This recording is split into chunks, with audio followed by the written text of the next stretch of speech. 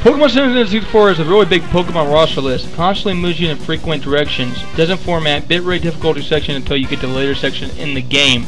It really sends out the largest selection of Pokemon cards to choose from. It may differ to some and code a gameplay with a cradling fan base, and it majorly works. Compliance is speaking, but this game really doesn't struggle with negativity to the Pokemon fans or a random viewer. So I give this game a 10 slash 10, argue all you want, it always has a classic conversion tool of making my nerdy mind fresh again.